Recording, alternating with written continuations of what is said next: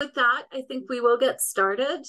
Uh, so good morning, everyone. Uh, just before we get started, just want to make sure that everybody is on mute. And uh, if you could please remain on mute for the entire session.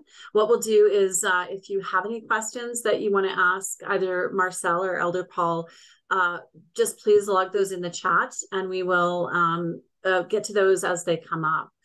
So on behalf of ACC, I'd like to, to welcome you to this event. So we're pleased to have you join us today to embrace culture, honor treaties, and take a step toward building a better future together as we recognize tomorrow the National Day for Truth and Reconciliation. Um, so ACC has a genuine commitment to truth and reconciliation as part of our larger comprehensive EDI strategy and in honor and respect for First Peoples, the First Nations, Métis, Inuit, and all Indigenous peoples across the lands, we stand in solidarity, committed to understanding, learning, and fostering equitable relationships. Uh, so Marcel has already done protocol with Elder Marcel Paul. Um, so before we start this event, though, Elder Paul, will you please lead us in an opening prayer? Ready? Ready. Aha, maamuuta we maa. Ashemina ni ti kwatinuta. We are muuta nutsata ya uta ya tushkia. Nishoga ma shiksho squash ni na ni tamaga nu na ni tina wakma. Kia nishoga ma so squash ni tina ga nu shkaya. Wako ma gante ki te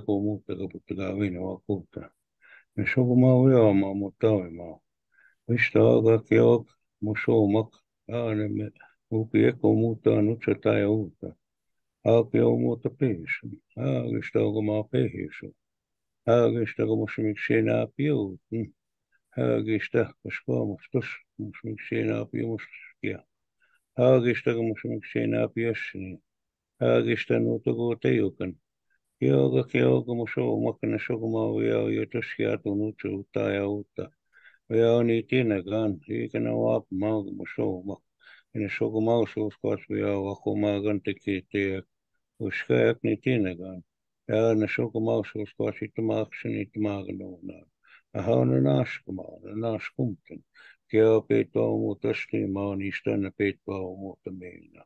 Hei hei, naaskumaan. Hei hei. Thank you. Thank you, Elder Paul, for your prayer and the wisdom you have shared with us. Uh, you have set a powerful and respectful tone for our gathering today.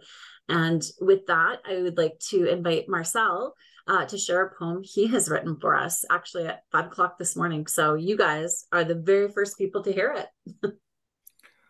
Thank you, Shauna. Um, I wrote a poem as well last year. Um, I'm sure it's available. Um, but yeah, I do write poetry and stuff, and I do have a passion for writing. So I did. I woke up early this morning, and um, I, you know, I, I, lit my smudge and stuff, and then uh, this poem came to me. It's uh, called "The Collective."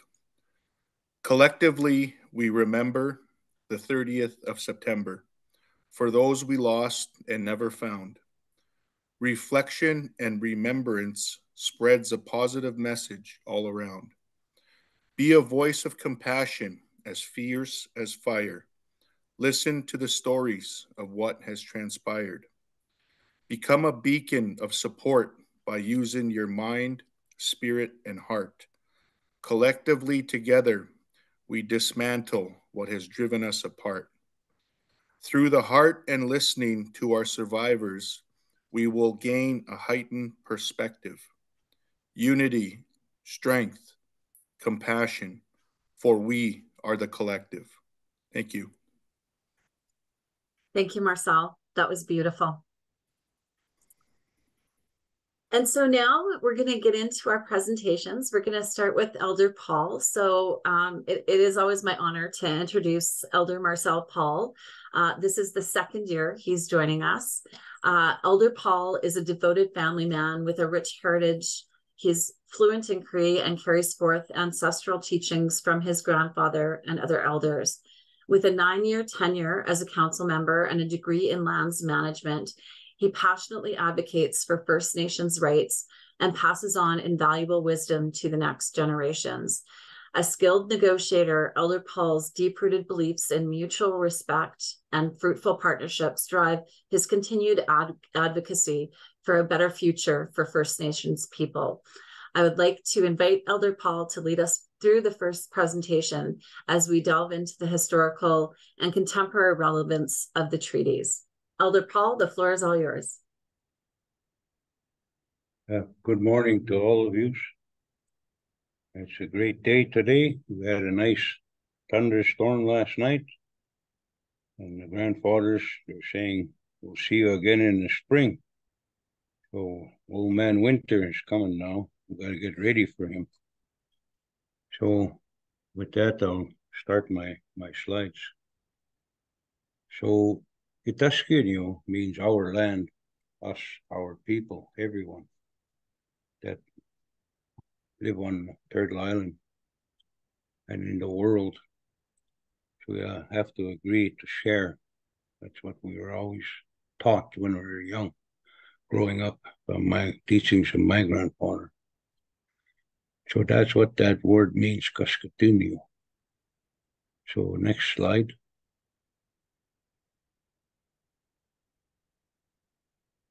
First and foremost,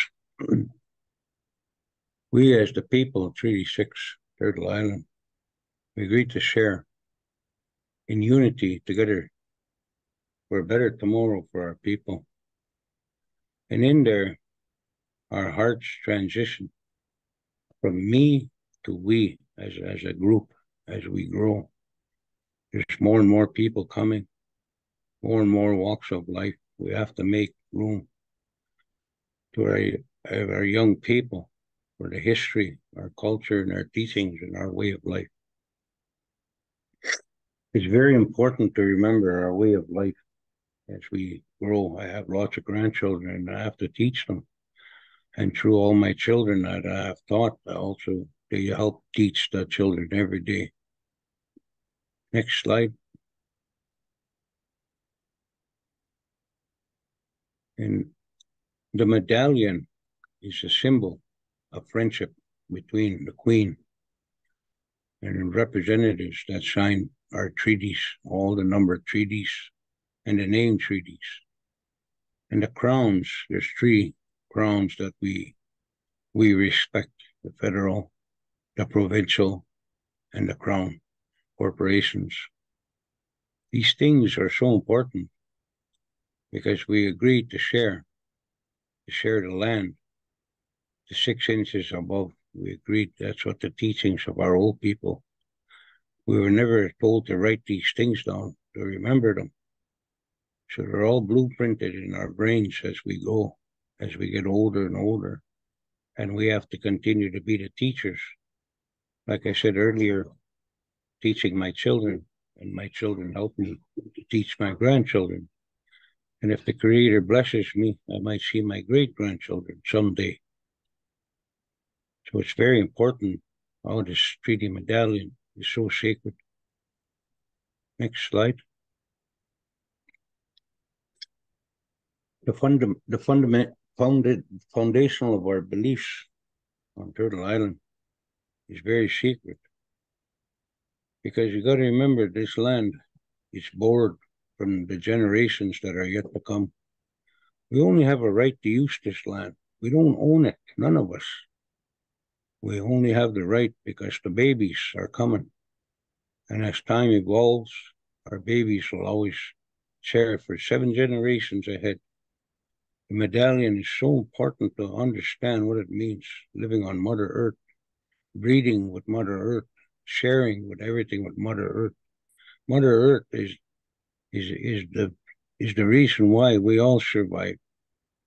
Money is not everything. There's a lot more one from money. And it's very important that economic prosperity has to be shared with everyone, especially the First Nations people, because we're here first. And there's a lot of other nationalities in, in our country, First Nations people.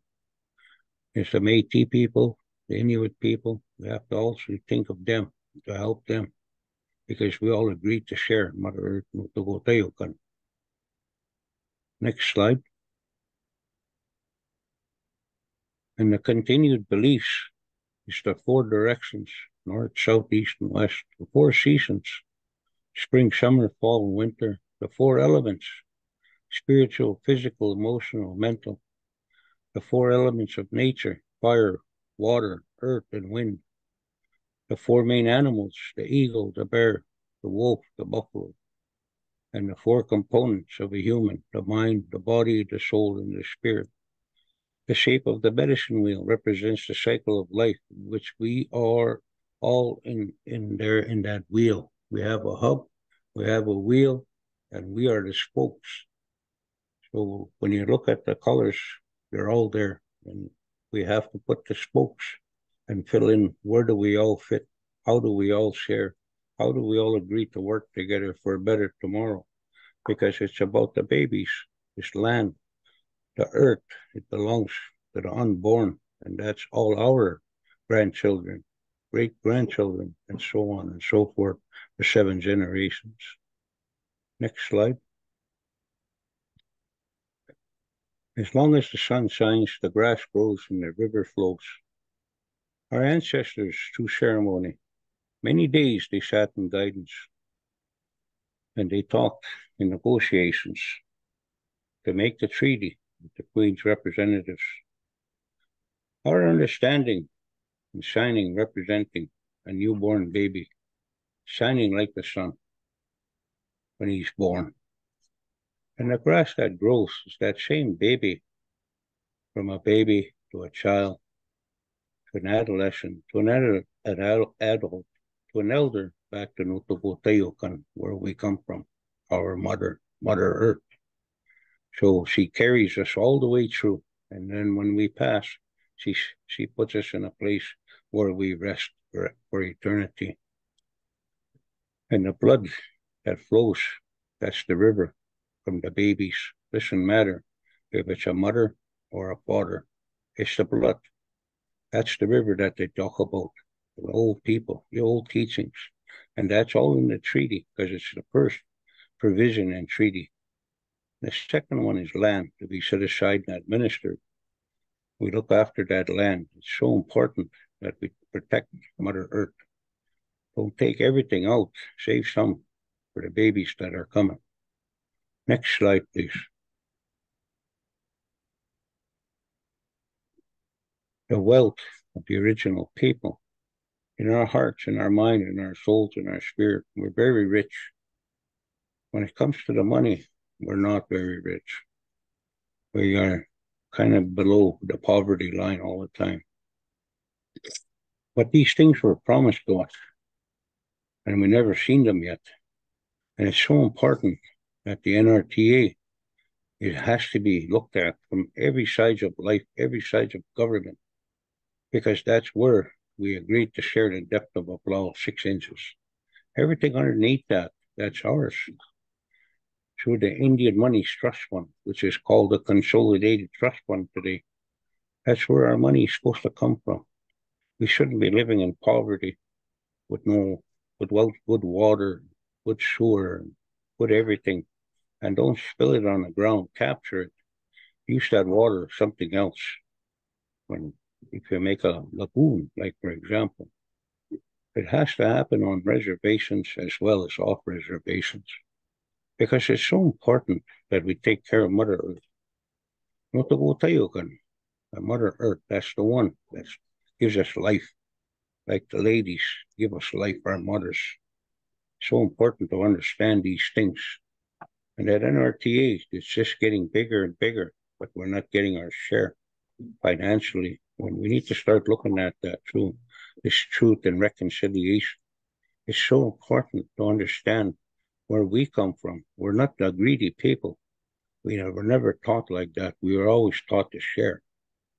So at some point, hopefully our chiefs and our councils can break ground through the NRTA with the governments so that we can get a fair share we don't want it all, even though it belongs to all of us, because we only agreed to share the depth of a plow.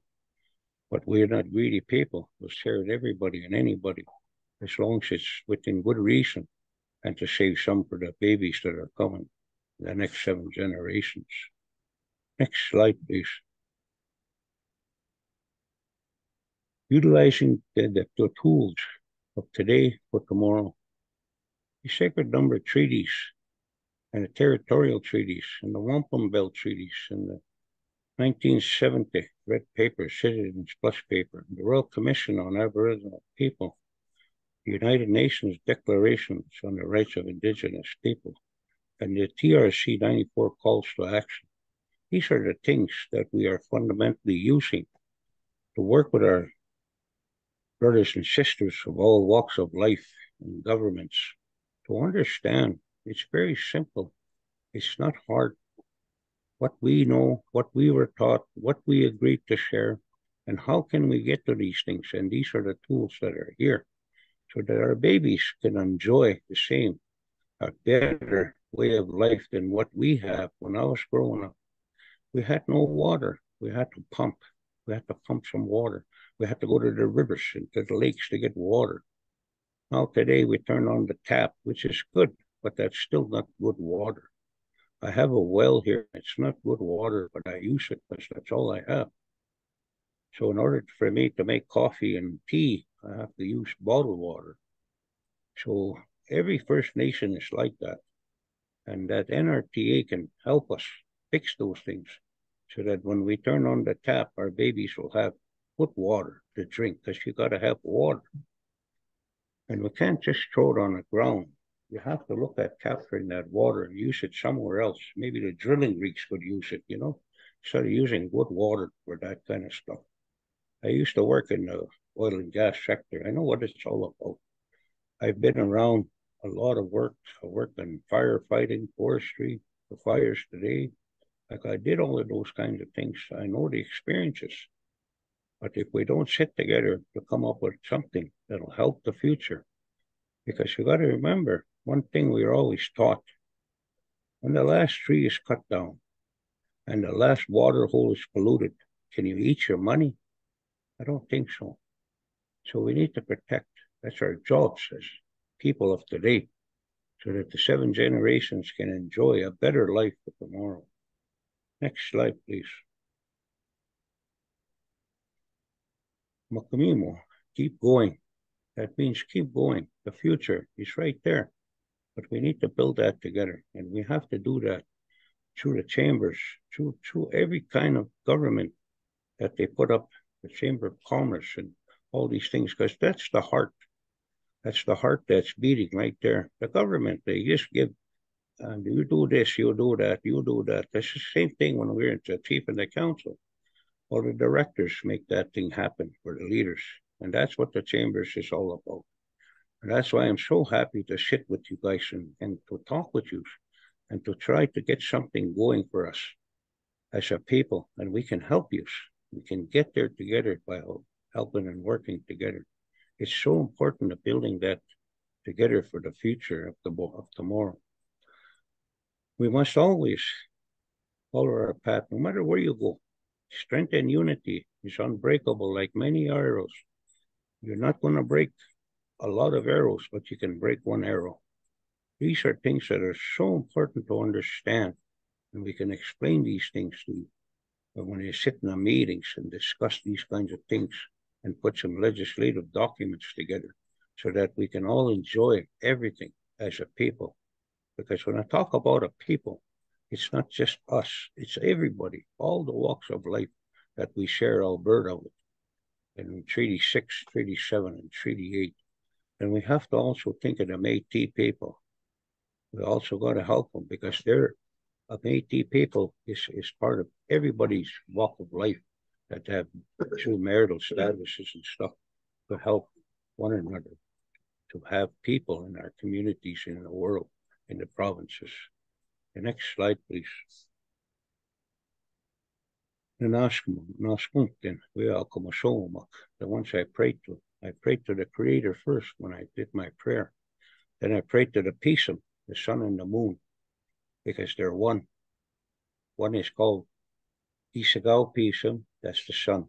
Kipskal Pisum is the moon. They work together hand in hand as they go around. Mother Earth. So important. And the Thunderbirds is the next one I pray to, the eagles. They're the ones that have the strength and the sight for us to see the future, to understand. And the wind that we talk about, oh, thin, that's what gives us our breath, clears everything. The smoke of the fires of Mother Earth burning herself because it's contaminated. Notagotayukan works in many different kinds of ways to make sure she takes care of herself, just like the mother. When they get up in the morning, they comb their hair. Well, sometimes they have to put that, burn it or something. Eh? So that's what that is.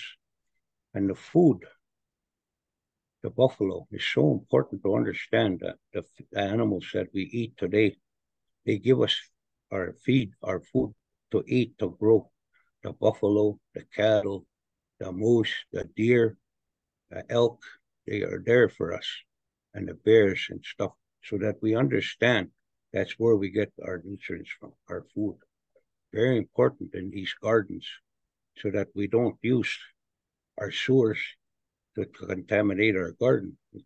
It's not good what I see in our First Nations when I see water coming into the house and I see it going out of the house and it's just spit on the ground. That's not good. And we're trying to make a garden. And when you contaminate that, it needs to be captured with a bladder and use that water somewhere else. Because you're taking that same water that goes out and then it's gone. It goes down back into our drinking water. That's not good. You see them. But they also keep slow. That's the teachings we were taught. Not the Wotayokan is the most important element of life, and that's our earth, where we take we we we don't sometimes they don't take care of it and then they'll have an earthquake or a flood or a fire because Notokutayokan has to keep herself pure. So those are the things in the prayer that I talk about. These things are so important because if we don't work together, unfortunately, the world won't be here. And these wars, I feel so sorry when I see that happen. I just cry a little bit. I pray for those people. I ask the Creator to make them understand don't do those kinds of things. And I watch the news I just feel so sorry for the people. It doesn't need to be a First Nation. I feel sorry for all the walks of life because I myself, I have an Indian mother and I have a white father. I have to understand when I walk both sides of that line to understand this side of the world, and that side of the world. And I always tell that to my children and my grandchildren. Understand things. You got two ears to hear things twice. You got two eyes to see things twice. One mouth. Yeah, take your tuna. Take it easy with your mouth. Learn and understand. Load your brain before you shoot your mouth off. These things I always tell my children. You guys are smarter than me, more educated.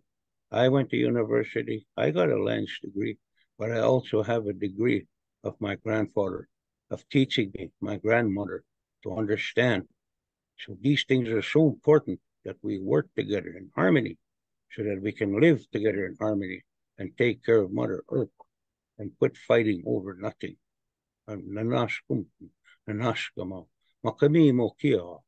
I thank you very much. You guys keep working together and keep going. Hi, hi. Thank you so much, Elder Paul. And uh, I would just let everybody know that if you just have any questions uh, for Elder Paul, you can just log those into the chat and we'll ask them. Um, maybe I'll kick it off. Um, you often refer to seven generations, uh, you know, in your in your presentation in terms of looking into the future and our forward thinking uh, in terms of also your traditional thinking. So I'm just wondering if you could explain, Elder Paul, the significance of the seven generations. Seven generations right now. In our community, we're at seven, especially my family, the Paul family. And it started from time immemorial. And I talk about the treaty. So before that, there were seven generations prior to that also. So every seven generations, we need to take those into consideration because that's your grandchildren, your children, your grand great grandchildren, all the way down the line to seven. Hopefully, that teaching continues all the way to there, and then it picks up again and starts again for the next seven. Because back then, when I was growing up, it was rough. It was rough at time as time went on, and I am already at my third generation with my own children. Just myself and my wife, my children, now my grandchildren, that's three. So they still got four more to go generations to hit that seven. And as we grow, I know my time is coming someday. I go and lay with mother, my mother, and that's the graveyard where I go rest wherever. But my teachings will live on through those seven generations.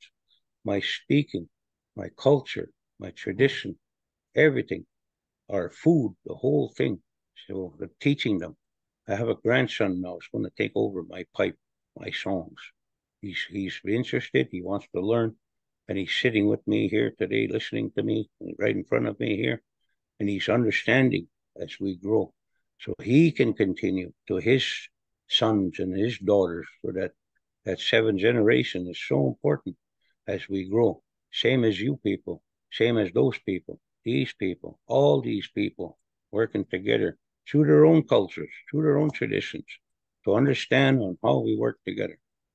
We can't think of always the bad. Yes, bad things has happened to us. Yes, it's being recognized. Finally, I got to see it. Now we're starting to look at truth and reconciliation to understand where we come from, what we do, why we do these things. And we never greedy. We never take, take, take. We always give, give, give. That's what the seven generations mean. Thank you so much, Elder Paul. And uh, there's a lot of thanks in the the chat box for your time today. Uh, a lot of people saying thank you for for joining us, Elder Paul. So uh, we will also have opportunity. We've we've built time into the program to have opportunity at the end as well to ask any questions that you may have. So we're going to move now into our next presentation, and it's uh, my pleasure to introduce you to Marcel Arcand. Uh, is an accomplished Indigenous procurement specialist and an MBA graduate who's who is a dedicated advocate for Indigenous history and rights. With a career spanning over 18 years in administrative and management fields, his passion lies in economic development driving him to foster inclusive opportunities and lasting partnerships for the greater good. In addition to his professional endeavors, Marcel finds joy in family moments and nurtures his creative side, aspiring to delve into script writing and the world of motion pictures. So I will pass the floor over to you now, Marcel. Thank you. Thank you very much, Shauna. Um, first, I'd like to um, welcome everybody uh, here today. Um, you know, it's very important that we, um, you know, reflect and acknowledge these types of days. And, um, you know, your presence here is a very, very uh, profound uh, statement and important step towards uh, reconciliation. Um, I'd also like to thank the Chamber of Commerce uh, for their initiative and, and kind of walking, you know, the talk. You know, it's very, very um, awesome to see you know a prestigious organization like the Alberta Chambers of Commerce kind of taking that that step and and you know doing it in a real way. I'd like to thank uh, Elder Paul, um, my dad, uh, you know, for uh, his prayer and his teachings. You know, um, ever since I was a young guy, you know, a little kid, I've been learning this stuff. Um, I've been learning the history of our people, um, learning how to uh, walk in two worlds, I guess, so to speak. Uh, that's what the elders called it, is walking in two worlds. Um, many, many years ago, our ancestors, they put down their bows, their arrows, their tomahawks. And um, our, our chiefs at the time who entered into treaty, um, they gave us the tools, um, the, the, the, the quill or the whatever they used to put their mark on treaty. They handed that to us today so now uh, we arm ourselves now with uh, education, um, learning how governments work, how industry works, because it is um, at times tough to navigate.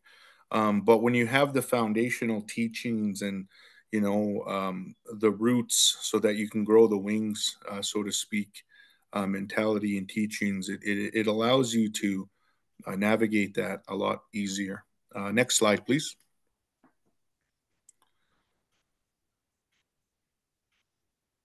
So, embracing our culture, um, a big part of reconciliation is, uh, as Elder Paul talked about, is embracing one another, acknowledging each other. Um, we need to celebrate our diversity uh, from all walks of life.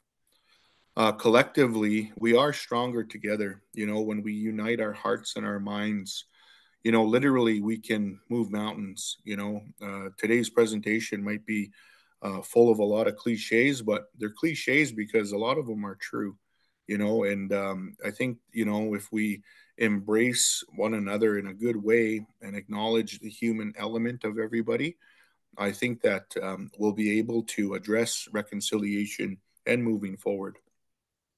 Uh, acknowledgement of the original people of this land is the first step uh, needed uh, in terms of true reconciliation.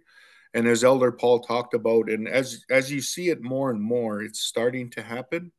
Um, and elder paul talked about it too where we're not a greedy people. We don't want everything. We understand um, the medallion um, in um, elder paul's presentation where you see the european and the um, the uh, first nation man shaking hands it's about sharing and working together for tomorrow uh, other other things to remember is that our nations, our First Nations, were not under Canada. We're not under the provinces or the territories. We are partners, and we're not subjects of the British Crown. We are partners. We entered into a partnership with the British Crown um, to give access to the land, to, to live in harmony with one another. And um, our ancestors entered into treaty uh, with the British Crown, and only nations have the ability to treaty. So that's important teachings that get passed on um, along the seven generations, as Elder Paul talked about. Uh, my second oldest son is actually upstairs listening, um, and he's absorbing all this information. And he's uh, demonstrated a real interest in history and politics and business. So when we see that interest, we we cultivate it, we help grow it, you know, we help pass it on in a good way that does not, you know, create division or anything. It's, it's about unity, you know. Our um, our culture also teaches us many things, but we do focus on balance and harmony with our planet, Mother Nature. Uh, as Elder Paul talked about, she gives us life, she nourishes us, she nourishes all the people we need to um, look at the economy and growth and business in a sustainable way where we're not going to poison um, our planet and, and jeopardize uh, the health and safety of our future generations that are yet to come. Thank you. Next slide.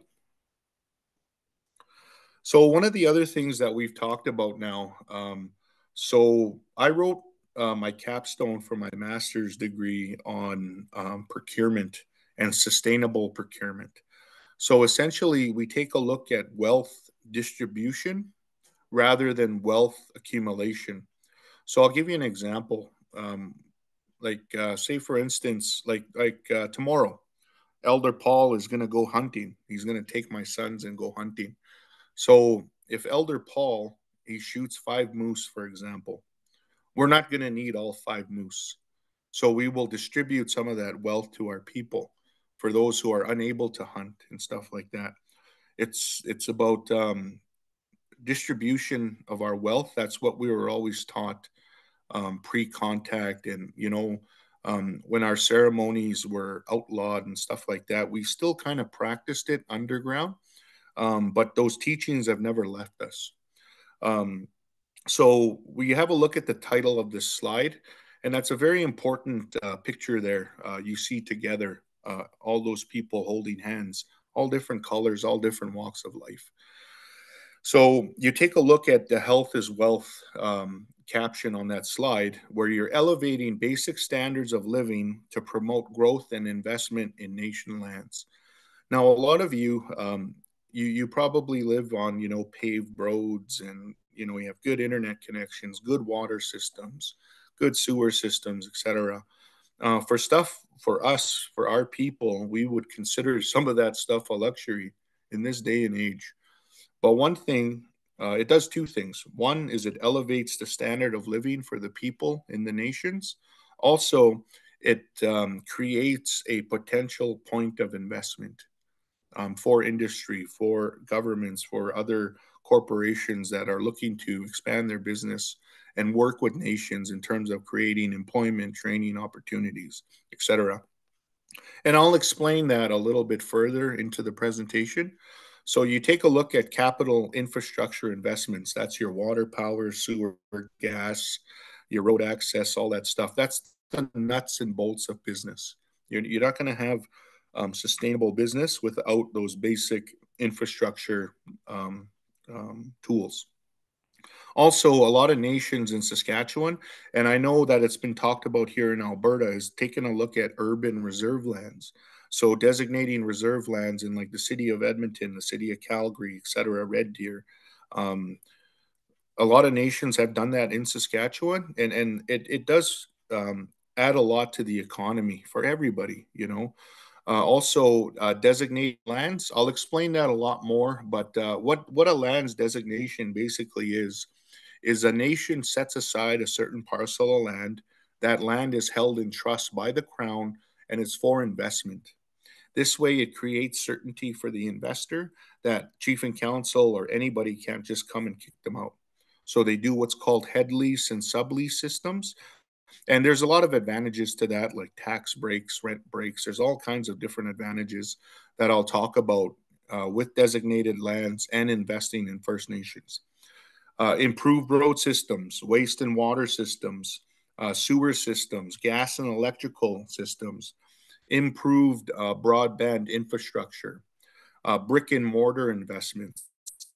Now, this is particularly important, especially with dealing with oil and gas uh, many times we've been told uh, in negotiations with oil and gas companies when we enter into impact benefit agreements or things like that is that they don't invest in brick and mortar, which is kind of funny because if you go to like say for example the the city of Whitecourt, there, there's a, there was a big Pembina recreation facility built.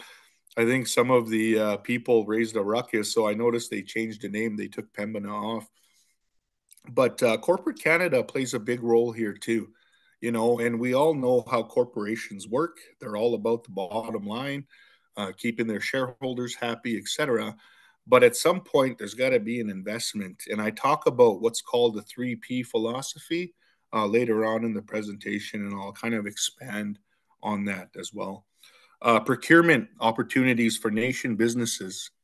Uh, so, and nations actually authoring these policies.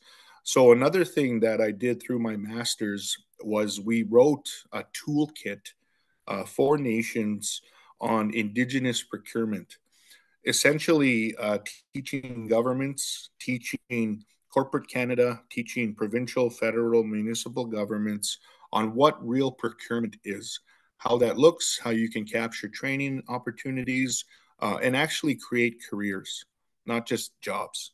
So we have a very detailed toolkit that myself and my colleague had wrote as part of our master's degree. His name is uh, James Arcand. He's now one of our council members. Um, but we we worked on this uh, together for a lot of years, and we actually were able to articulate it and put it into our capstone project. And we, you know, we did very well and and we're very proud of that and we're we're looking to continue to share that message of procurement what it looks like and how easily attainable it is you know um, also um, with building um, increased capacity building so when you invest in the people you see the returns in all different facets so investing in the people um, creates the environment for success and, and continuity uh, you, you then create a uh, an economy that's reciprocal, where uh, you know investment, uh, paychecks, et cetera, et cetera, are you know circulating within that economy.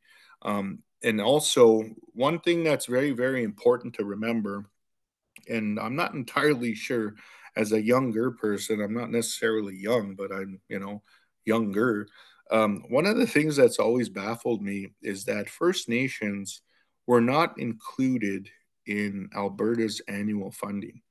We have what's called target based funding. So, um, our, our funding that we do receive uh, from Alberta is all proposal driven.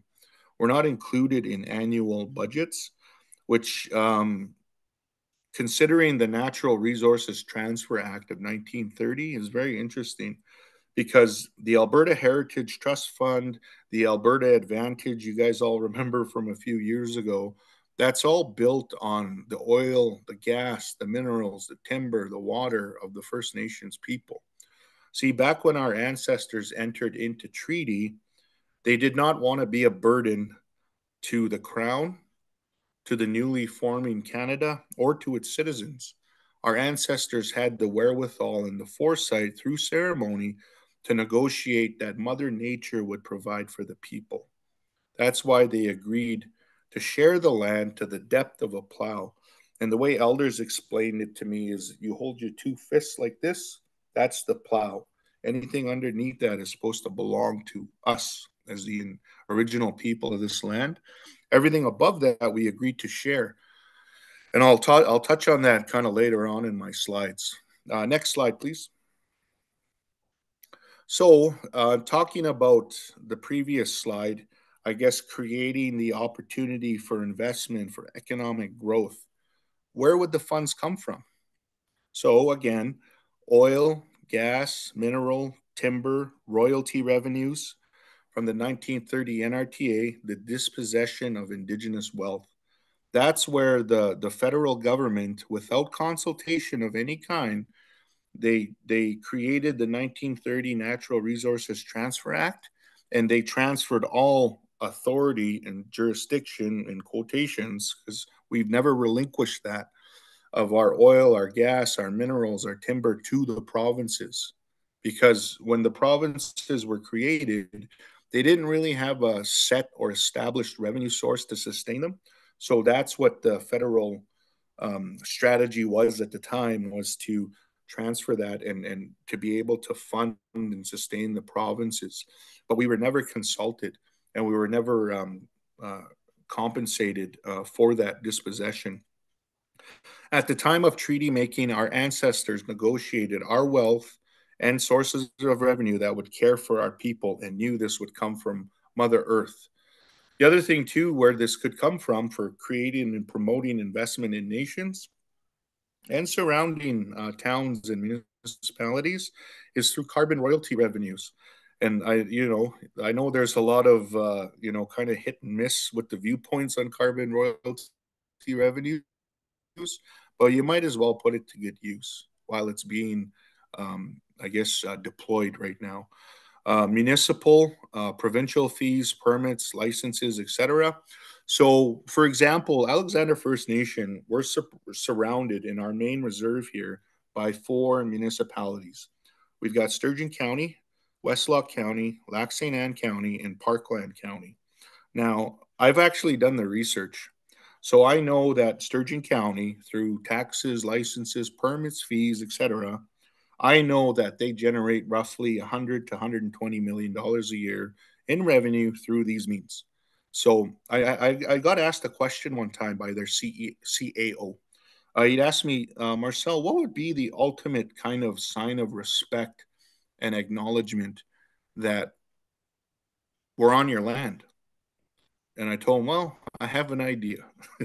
so all the permits, the licenses, the taxes, et cetera, et cetera, there should be a portion of that that goes to nations for capital improvements for roads, water, sewer, gas, and all that stuff. And I told them, make it very clear that this is not for operations or housing or all that stuff because there's other venues for that. This is about promoting growth to affect and grow regional on on how our nations work with our partners that surround us. Because i always say that we're not vatican city nations. Our doors are open and we're looking we're not our own countries our own entities. We are our own sovereign nations but we are about partnerships and building those partnerships. The uh, handshakes got to be returned, though. You know, we can reach our hands out, but there's got to be somebody there on the other end to shake our hand, right? Uh, lending institutions as well. Uh, one thing that we found out during our master's course is that a lot of lending institutions, their practices, their their standard um, lending practices and stuff, they kind of they don't really look at the complexity of First Nations and how um, their different funding sources. Like, and I'll give you an example. So for one, um, we had an issue uh, with one of our cash flows um, for uh, with the federal government, and the bank at the time not understanding that we get funded on a monthly basis, it's like our cash flow comes on a monthly basis. That they they uh, was a, like a like a like a mistake, you know. But once we had the chance to kind of sit down with them and explain how things work and uh, how the funding works and stuff like that, they were they kind of released the lien. Like we had liens on our school buses and things like that. Um, but that was just a misconception, right?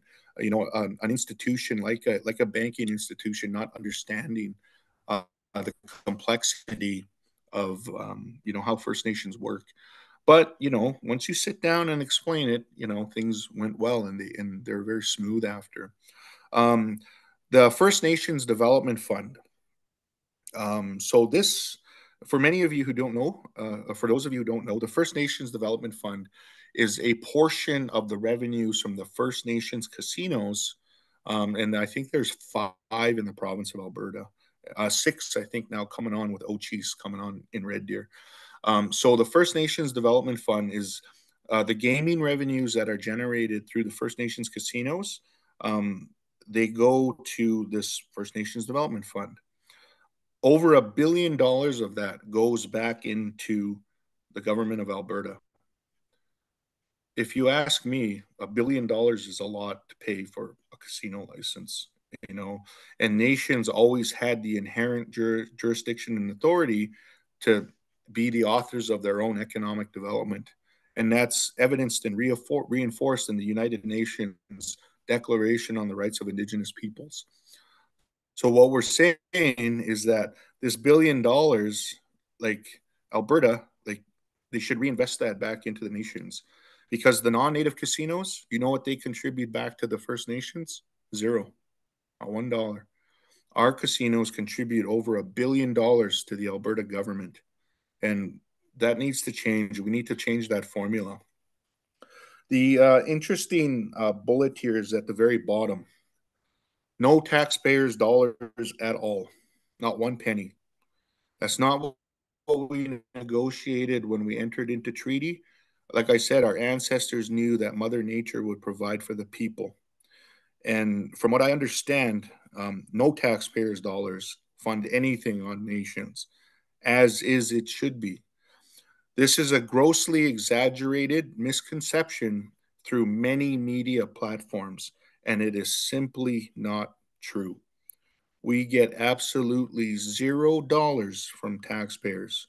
I'm not sure how the Canadian Municipalities Association or the Alberta Municipal Taxpayers, uh, where, where this information comes from, because we know that we get a portion of our funding from what Elder talk Elder Paul talked about is the consolidated revenue fund. So all the royalties, everything that um, is collected from the earth, oil, gas, mineral, diamonds, everything, it goes into that consolidated revenue fund. And Alberta, through the natural dollars that Alberta pays or transfers to the feds, so we don't ask for taxpayers' dollars. We do not want um, taxpayers' dollars. That that has never been the case. And all levels of government, as a additional call to action, I call upon all levels of government to dispel this rumor because it is simply not true. And it is a tool of division. Like I said, that is not true. Uh, next slide, please. Um, this is a very powerful quote, and it kind of in line. It's in line with uh, today's message of collective and unity and strength and all that stuff.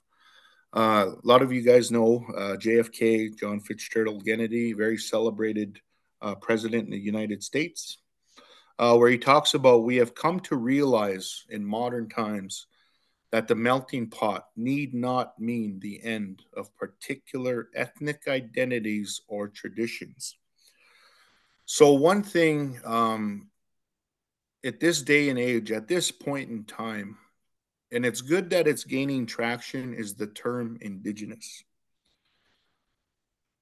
You know, it's a universally understood term, and it's okay for now. What I mean by that is that there's distinct people, we have distinct identities. It looks and, and we view it as a melting pot when the governments use the term indigenous or aboriginal because we are not Metis. We are not Inuit. They are their own separate, unique, distinct people with their own unique, distinct traditions, culture, and customs as First Nations people, there's an even further um, distinction. We are Cree here in Alexander. There's Cree, there's Saulteaux, there's you know Sioux. There's all kinds of different uh, tribes within the First Nations. Um, with the Inuit, they're a separate people. The Métis, they're a separate people. It's just that now the term Indigenous is a universally accepted term that you know talks about the original people. One thing that you'll see later on is that nations will begin to start to make that distinction. So what is the best way to relay this message to canada the provinces industry and institutions in a way that fosters the spirit of collaboration and not division. But we must remember the distinction. And the answer is right there in that picture. And I chose that picture very um, purposefully. And it's listening with your heart. So that there is what kind of what we're talking about is the getting kind of the the truth from you know from the people who live it and you know we go through this kind of on a daily basis uh, next slide please uh, so here uh, we get into what's called the 3P philosophy. Uh, a lot of you probably have seen this. Uh, this is kind of a, a more sustainable uh, way in which large corporations, some of them, not all of them, even kind of the medium and smaller uh, businesses are starting to embrace the sustainability of operating their businesses, but also doing it in a way that does not kind of overdo it for Mother Nature. Uh, so the three P philosophy basically is people, planet, profit. Uh, the three P's of sustainability are a well known and accepted business concept. Uh, the P's refer to people, planet, profit, also referred to as the triple bottom line. Uh, sustainability has the role of protecting and maximizing the benefit of the three P's. This is importantly uh, important uh, considering that the footprints we make today are guiding steps for tomorrow. So, as Elder Paul talked about, uh, we're passing through this land. Uh, our ancestors, um, they created a trail for us uh, today here, um, and everybody's ancestors. It is our duty and incumbent upon us to make that trail easier to walk on and to make it wider so that more of us can walk it. Um, they acknowledge the planet's needs by respecting its valuable resources and they aim to produce profit without waste. So here it's all about sustainable uh, business, right? Um, next slide, please.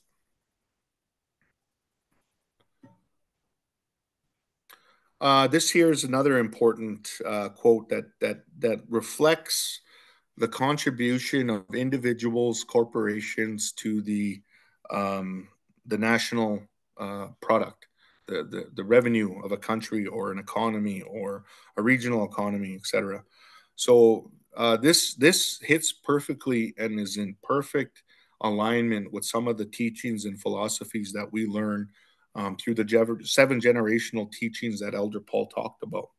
So imagine life as a game in which you are juggling some five balls in the air.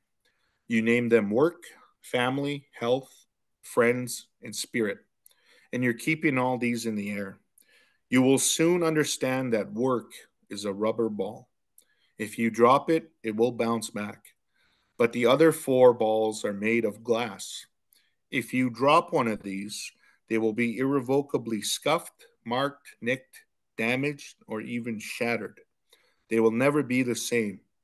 You must understand that and strive for balance in your life.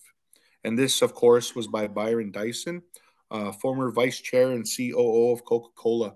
Now, can you imagine, you know, a guy or a person at that kind of level of business and and having that perspective, understanding that you know there's your health, your family, your friends, your children, and you whether you're happy in what you're doing and stuff like that rather than just being you know a mindless drone just going to work you know not looking after yourself not looking after your mental health etc but that's a very powerful statement especially from somebody at that level of business who's dealing with billions and billions of dollars you know so it's important to never forget yourself you know your health think about yourself Think about your contributions to your children, to your family, to your community, to your, you know, what, what are you contributing? And are you doing it in a good way? Next slide, please. Uh, so here uh, we see how what we're talking about, how it can, how it, it's put on paper and how we can enact this stuff uh, through these logic models.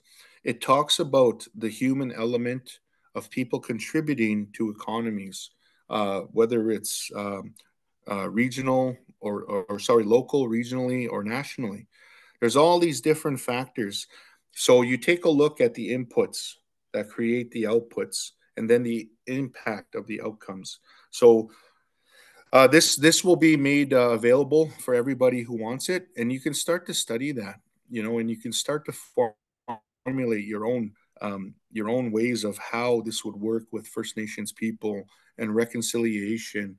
Um, uh, and if you need assistance and help, please feel free to reach out. Um, this is kind of one of the things I do for a living is help build these strategies and these models on how to engage with nations and how to, you know, utilize to the best um, ability of everybody and for the benefit of everybody on to create that long lasting reciprocal impact whether it's training jobs the economy business etc there's just so many opportunities and um, like i said we're not you know our own little independent entities. Our doors are open for business you know and definitely you know you knock on those doors we knock on the doors. Let's you know let's let's collaborate and work together on that you know.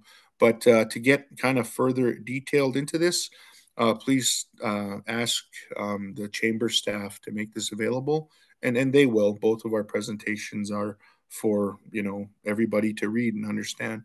Uh, thank you. Uh, next slide, please. Uh, now, this quote is something that I came up with. this Marcel Arcand guy is very brilliant and handsome and one of the smartest guys I know. No, I'm just kidding. Um, but like like what we talk about right so for many years nations were um i can't remember how the way to say it in gaelic i think it's Sinn Féin ourselves alone i think is uh, i might be butchering that but i remember that. Ourselves alone. But now we're starting to come together and the collaboration is growing and it's just so awesome to see.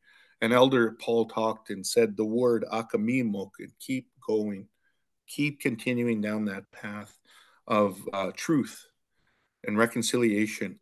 There's an important um, word, and I know a lot of times the focus is on the word reconciliation, but above the uh, chamber uh, staff there, you'll see that other word, truth. And that's exactly what we're um, um, teaching today is the truth from our perspective, our oral testimony from our elders that's been passed down it's been passed to uh, my father. It's been passed to me. We're passing it to our younger generations, my sons, my nieces.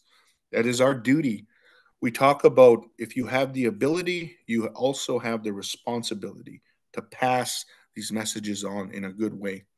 So one arrow is easy to snap, but if we gather many arrows, we are unbreakable. This is true in all aspects of life, especially in collective business and opportunity in our lands. And this is, of course, something that I came up with. I was thinking of the theme of uh, today's presentation, and this just kind of hit me like a ton of bricks. Um, so together we're strong. I want to leave that uh, message and, and hopefully that resonates with everybody. Next slide, please. So also, I'd like to acknowledge the significant step taken by the Alberta Chamber of Commerce. Uh, Shauna and her staff are just, you know, making leaps and bounds and, and kind of being the leaders, you know, in, in, in reconciliation and acknowledgement of the original people of this land. And it's good to see it's being done in a real way. So, as part of the larger e- equity, uh, diversion, and inclusion strategy, uh, what Shauna refers to as the EDI strategy, the Alberta Chambers of Commerce will be forming an Indigenous Business Committee in order to authentically engage in economic and social uh, reconciliation. Education programs, see, that's the, the truth part there that I talk about, and advocacy will be all uh, part of the identified outcomes of this committee. Um, we will be, uh, they'll be setting uh, out the terms of engagement for the committee and recruiting participating members over the next six months and then convening the committee to determine the first projects and priorities. So this is nations authoring their own destiny, and it's a huge step, and it's very important. If there's anybody from the provincial, federal, municipal governments, please take note. This is how it's done. You engage, you ask. That's that's the way to do it. And and you'll understand, like um, Elder Paul talked about, we're not greedy people. We don't want everything and all of it. You know, um, it's just to share to be at the table. It's basically all we want because this conflict, this us versus them, all it's doing is feeding the legal industry. You know, comprehensive claims, suing the government, all this stuff. It just doesn't make sense anymore. It's not economically feasible. All it does is make lawyers rich. I'm sorry if there's any lawyers in the gallery, but you know, it, you think about it, right? What is the definition of insanity? And this conflict has been fueled and ongoing since contact. There's no need for this anymore. Our capacity as First Nations people has grown. We've got lawyers, we've got all kinds of people who are educated in all kinds of fields. There's our, our European brothers and sisters, they have educated people as well. Collectively, with the teachings and guidance, we can work together. Uh, this is an excellent and uplifting initiative uh, that will engage Indigenous peoples in advocacy for investment in our lands and promoting Indigenous entrepreneurship within a prestigious organization. So, the Alberta Chambers of Commerce is a prestigious organization, and it's good that they're taking that lead. You know, it's it's awesome. I can't stress the um, the hope that we have in, in like an organization like the ACC taking the lead on this. Uh, again, uh, we'd like to commend the Alberta Chamber of Commerce for their walking the talk in terms of action and reconciliation with the Indigenous peoples of this land. And this is a powerful and genuine first step. So, again, thank you to you and your team. Uh, next slide, please. Uh, First Nation land investment opportunities. Uh, so, here I'll get into the specifics of how to invest in First Nations. So, reserve land, all of the reserve land is held in trust by His Majesty and set aside for the use and benefit of a band. And this is wording directly from the Indian Act. Um, before reserve land can be leased to a third party, it must be designated to the federal crown. What a land designation is, is there um, a nation votes, eligible voters, they vote to designate X amount of parcel of acres of land uh, for investment. So this gives comfort uh, to the investor that they're not going to get their lease hijacked, et cetera, et cetera. Um, it, so it creates a certainty for the investor. A third, a third party includes all corporations, including band owned corporations. ISC must ensure that the rights and interests of First Nation and other affected parties are respected. So once the land has been designated, a head lease must be completed on the designated parcel of land within the First Nation. The nation or land corporation, nation corporation, whichever is utilized by the nation, can then issue a sublease to an interested party for investment into the lands. Uh, significant advantages include that a lot of red tape is at the discretion of leadership and not subject to fee simple type legislation and regulations. So one of the things, like if you're going to invest in like you know uh, a, non-indigenous town or something, there, there might be a lot of red tape depending on the regulations and statutes that that mayor or that council uh, have. Um, so uh, one second, just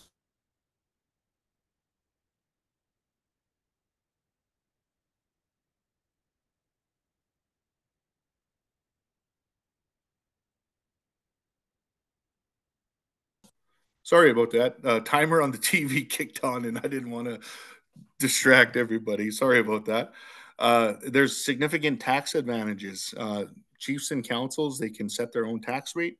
Uh, for investors, it could be zero percent. It could be one percent. Uh, that is determined by the chief and council. Uh, there's significant lease advantages. For example, negotiation might be with a big company like if you help with the roads, the water, power, sewer, gas we'll lease you uh, the land for, and this is just hypothetical, for example, uh, a dollar a year for the first five years. You know, there, there's all different kinds of things that you can negotiate uh, within that. Uh, subleases can be issued up to 99 years and extended through a band council resolution or what's called a BCR. Uh, typically, nations have a pool of labor ready to work investment and construction opportunities. So, like again, the opportunities there. Um, a lot of times uh, with um, oil and gas companies, et cetera, these opportunities are available. Um, at, at certain times, it, we kind of view it where oil and gas companies, they're trying to get approval and access for as cheap as possible. And a lot of times nations are trying to get the best deal that they can for their nations, their people, their future, et cetera. Um, so come together. You know, it's a simple kind of solution. Uh, next slide, please. Uh, so this is uh, measurement to support a balanced uh, 3P economy. And this is the individual, uh, the spoke, I guess, uh, contributing to the larger wheel. So we got to take a look at, make sure that that person is emotionally, spiritually, physically, and mentally, you know, good and sound. Um, the emotional is the safety of the future spiritual is a cultural connection. Uh, some people don't believe, or, you know, that's entirely up to them. It is not incumbent upon us to force or our beliefs or anything on people. They believe whatever they believe, uh, and that's perfectly fine. Uh, the physical as well, you got to be healthy in order to contribute in a good way. Uh, so, at, at, all times, please take care of your health and your mental health as well. Uh, next slide, please. So, indigenomics, uh, this is a very famous term um, coined by Carol Anne Hilton. Uh, she was actually one of our instructors at Simon Fraser University. Very smart lady. Uh, gets into detail, details about the literal trillions of dollars that are there uh, to contribute um, for all walks of life in all types of industry. Um, I'm not sure if a lot of you have read her book, but definitely Google her name. Um, she's a very brilliant lady, and she talked a lot about in depth uh, about the opportunity for everybody. Um, the Indigenomics uh, draws on the ancient principles that have supported Indigenous economies for thousands of years and works to implement them as modern business practices. So, there, with that thinking, you see the evolution of our people and our thinking, and realizing that today the world is different. We need to walk in two worlds, as the elders call it and there uh, table one and again this this presentation will be made available for everybody um, it talks about the 12 steps the 12 levers for growth of the indigenous economy now think about the inroads and the collaboration and the partnerships that could be made with the local and surrounding economies So this is a very, very uh, not necessarily new concept, but it is something that uh, Dr. Hilton has crafted to perfection. Um, so with that, um, that's the presentation. And uh, thank you again, everybody, for listening. Um, I hope, you know, we shared some uh, teachings with everybody and, uh, you know, uh, may the creator bless everybody. Have a great day. Thank you. Thank you so much, Marcel. And so we have about 15 minutes uh, for any questions that anybody may have for either Elder Paul or Marcel.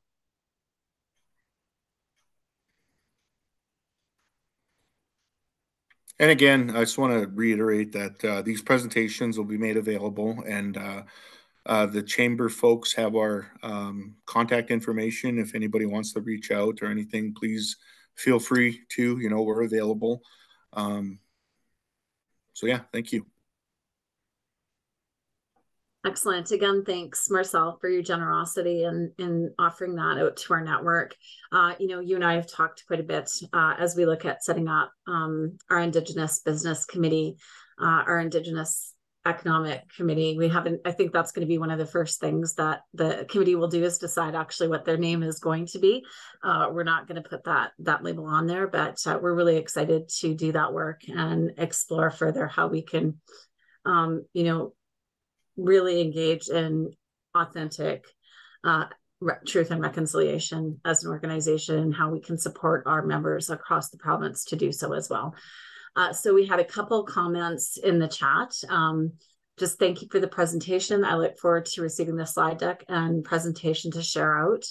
Uh, another individual, and I'm anxious to share this with our newly elected executive and board at our orientation retreat next weekend. So uh, excellent. It's going to be redistributed. The other thing, uh, also, uh, this has been recorded. So anybody who is not able to join us today, we're going to be uh, sending that out into the network uh, for anybody who wanted to hear the teachings and learnings that we we shared with Elder Paul and Marcel today. So I'm not seeing any hands or any questions in the chat box. Uh, so with that, then uh, I again I can't thank both of you enough for joining us today. Um, it's just so invaluable for us to hear um, hear your teachings. Uh, and and obviously the wisdom that you've shared has really enriched us uh, today as we look at um, celebrating tomorrow truth and reconciliation day so with that i'm very excited to uh, close our event with a song from elder paul. Elder paul?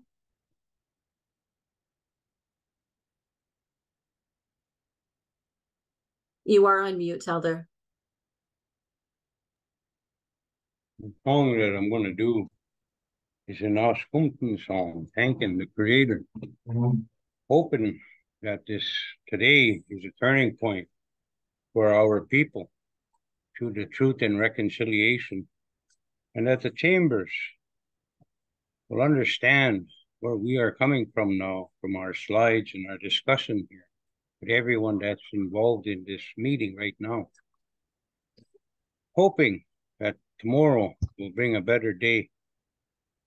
If we could really work together and try to understand where we come from and how we want to participate. Like Marcel Arcand said, we're not looking for a handout. We're looking to be involved. And the NRTA and the Indian Money Trust Fund, those are some of the things that we are asking to start paying our way to get our share and have economic prosperity in every one of our First Nations that we live in. So hoping through the prayer and the song that all of you understand to assist us and ask us to participate, and we will be more than happy to assist the ACC to have a better an understanding. So this song is kind of a round dance song with a cultural component in there. So, and it's called Naskumptin. Thank you, the creator.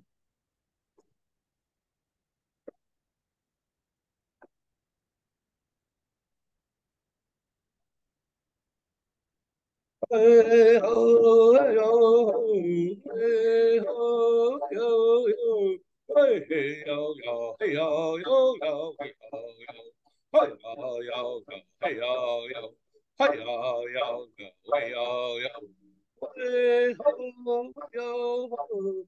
Hey ho, yo ho. Hey ho, yo yo yo yo yo yo. Hey ho, yo yo, hey yo yo. Hello, yo, hello, yo, hello, yo, yo. Thank you very much for listening to me. You guys all have a great day. And I hope your fires are burning well at home and for the future of all your babies and ours. Hey, hey, naskumtum Scott now. Hey, hey. Thank you very much. And thank you again, Elder Paul and Marcel, for joining us today. And I want to thank everybody who joined us on the call as well. Uh, I, I know that you would have found some great knowledge transfer in terms of how we move forward uh, as an organization and as a, a group of member organizations uh, in the province to really support authentic truth and reconciliation. So, again, thank you to everybody. We hope you enjoyed this session and uh, we look forward to continuing the conversation. Thank you.